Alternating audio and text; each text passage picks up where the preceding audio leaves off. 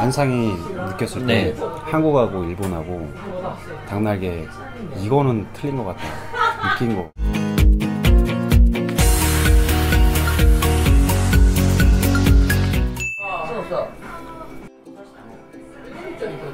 지난번에 당나게 먹고 한국이랑 어. 일본이랑 좀 뭐가 틀린가 이렇게 좀 생각을 좀 해봤었어요. 음. 어때요? 네. 한국에서 닭날개 좋아 좋아했어요? 아 어, 날개를 제일 좋아했어요. 그래요? 날개 그냥 큰 차이 없는 것 같아요. 소스가 어, 한국이랑 좀 비슷한 것 같기도 하고. 맛은 비슷할 게 많죠.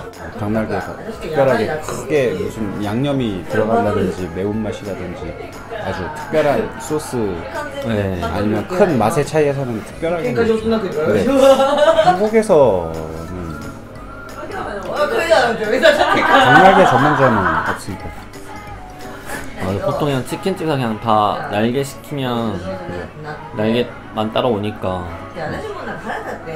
치킨 집에 다 하니까 굳이 전문점 따로 생기지 않는 것 같아요.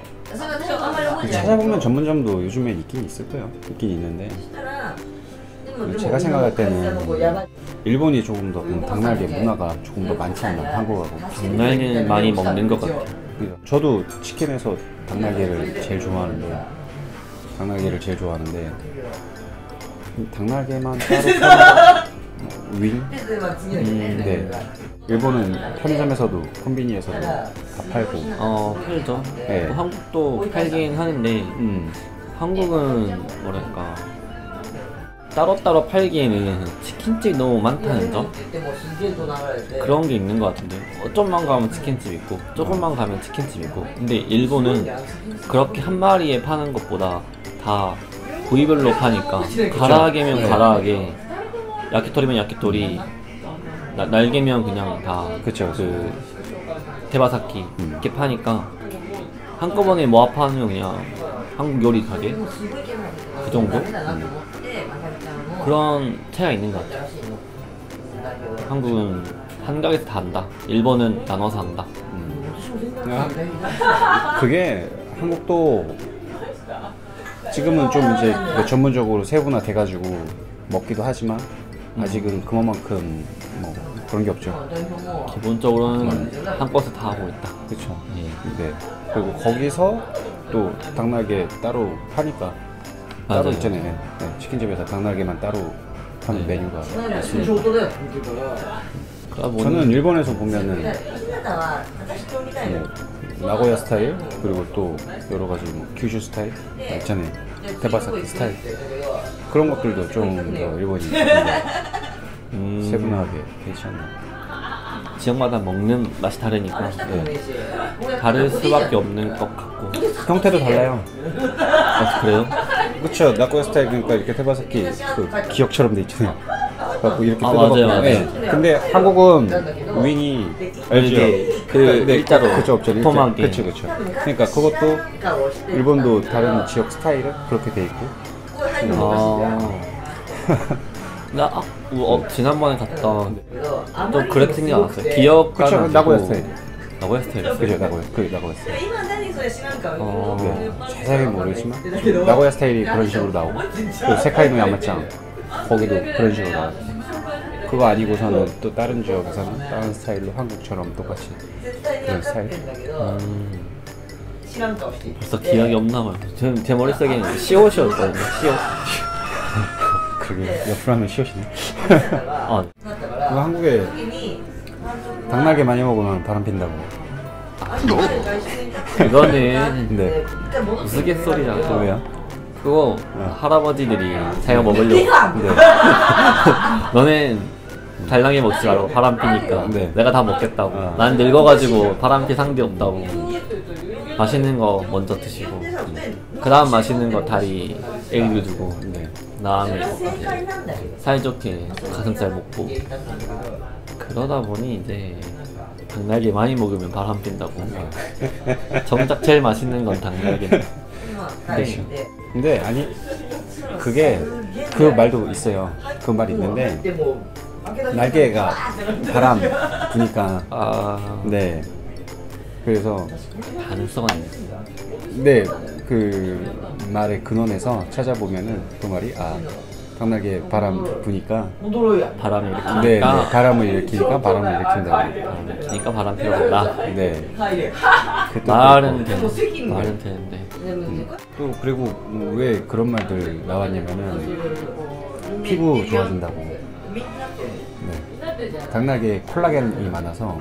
맞아요. 콜라겐은 네, 콜라겐 많아서 피부 껍데기 쪽에. 네. 그러니까 피부가 피부가 좋아진다고. 그러니까 피부가 좋아지면 이뻐지고 멋있어지니까 바람을 피운다. 당나귀 좋아해가지고 피부 좋아진 거예요? 아 그거 이후로 좋아진 것 같아요. 전에는 별로 안 좋아하는데 생각해보면 3, 4년 전부터 당나귀 많이 먹었거든요. 언제부터 먹었어요? 그러니까 3, 4년 전부터 3, 3, 4, 3, 4, 3, 4년 전부터요? 3, 4년 전부터 날개 많이 먹기 시작해가지고 그 후로 좋아지지 않았나. 아 그래요? 네. 전까진 별로 안 좋았는데 지금은 어, 많이 좋아진 것 같아요. 일리 있는 말이에요? 지금 닭날개 먹으면 바람 피운다고 얘기하는 게 지금 이제 첫 번째로 네 어른들을 위해서 네 양보하려고.